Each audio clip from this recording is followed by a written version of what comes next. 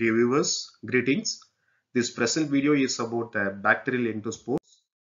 Uh, bacterial endospores are the resisting non-reproductive structure formed by the bacteria for its uh, survival during the adverse and unfavorable environmental conditions. The endospores are first discovered by John Tyndall. He discovered that the heat-resistant endospores of bacteria which survived after heating at 100 degrees Celsius, that is the, that means after boiling. The endospores are variable in size and location within the cell and they are uh, structurally, metabolically and functionally different from the vegetative cells. And the endospores are commonly found in soil and water. And this is the uh, structure of the endospores. The structure of the endospore is very co very complex because of the presence of uh, multiple layers.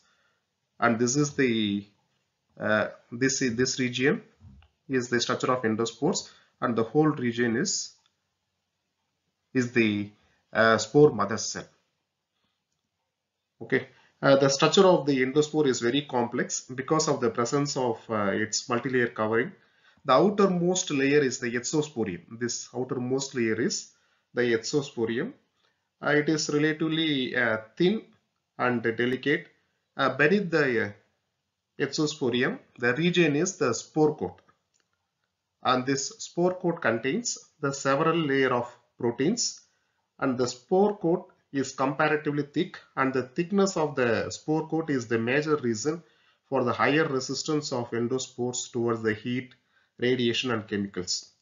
And inner to the spore coat the region is the cortex. The first region is exosporium, second region is the spore coat, the third region is this is cortex. The cortex is a thicker wall layer in the endospores and it is uh, very large and sometimes occupy as much as uh, half of the spore volumes. Uh, this cortex is composed of uh, the peptidoglycan. Uh, the peptidoglycan in the cortex is uh, less cross-linked than the peptidoglycan of the normal vegetative bacterial cells. The innermost layer of the spore is called as the spore wall or core wall this region. This region is the core wall or spore wall. And this core wall covers the central protoplast or core of the endospores.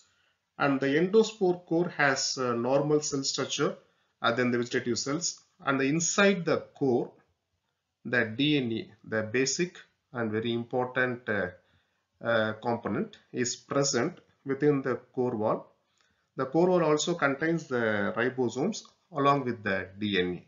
This is the structure of the endospores. And there are two major components are present in the endospores. Uh, the first one is dipicolinic acid. It is located in the core of the endospores, the core part of the endospores. The calcium dipicolinic acid complex reduces uh, water available and helps to dehydrate the endospores and this dipicolinic acid inserted into the DNA and destabilizes the DNA from the heat, heat, heat denaturation. And specifically the dipicolinic acid prevents uh, the heat, uh, heat denaturation of the DNA that is present within the endospore. Second component is the small acid soluble uh, proteins. And this SASPs bind to the DNA in the core and protect the DNA from the damage and it also uh, SASPs also function as carbon and energy source uh, when forming vegetative cells to the spore cells. Next is the endospore producing bacteria. Uh, endospore production is highly observed in gram-positive bacteria and uh, less observed in gram-negative bacteria. Uh, some of the common endospore producing bacteria are Clostridium species, and bacillus, and bacillus species uh, which are very familiarly known as uh, gram-positive bacilli. The other genera of endospore producing bacteria includes uh, Desulfotomaculum, uh, Sporolactobacillus, Sporosarcina, oscillospira and thermoactinomycetes. Uh, since not all the bacteria form the endospores, uh, so we can use the presence of endospore as an identification factor that is through endospore staining methods. Next, the location of endospores in the bacterial cell. The endospores are uh, present in four different locations of the bacterial cell.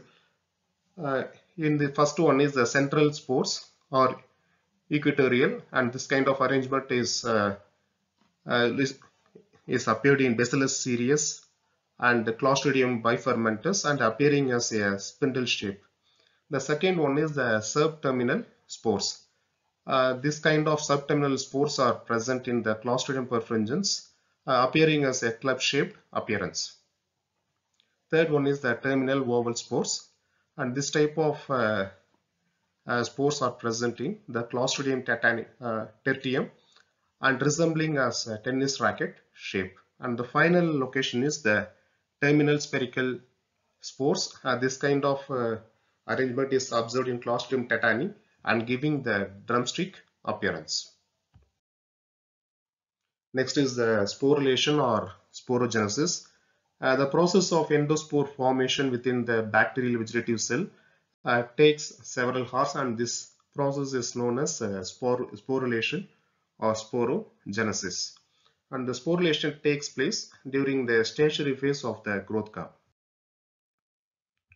Uh, this is the, the sporulation cycle. The first, this part, this region shows the binary fission of the bacteria. And this is the uh, sporogenesis or sporulation cycle. And this contains uh, seven stages. And this is stage one. In the stage one, the DNA replicates and extend into the axial filaments. Here we can observe the difference between the normal cell and the DNA replicated cells.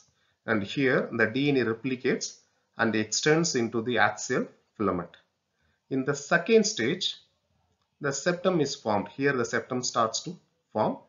The septum forms near uh, one pole and separating the forespore from the mother cell. Here the septum is formed in this image the forespore is formed and the forespore separates itself from the mother cell. This region is called as mother cell and this region is the forespores. This, this is uh, stage 3. This both represent the stage 3. In the stage 3 what will happen means the mother cell engulf the forespores and surrounding it with a second membrane here. Here it start to engulf. Here the, the spore cell completely engulfed the uh, the mother cell completely engulfed, uh, completely engulfed the uh, forespore and forms the double layer. And in the stage 4, the chromosome of the mother cell will starts to disintegrate. Here see, the, here the chromosome of the mother cells will start to disintegrate. Okay. In the stage 5, the forespore develop a cortex layer of the, the here. Here in the stage 5, the forespore develop the cortex layer of the peptidoglycan between the original forespore membrane and the membrane of the uh, mother cell. Here the cortex is formed.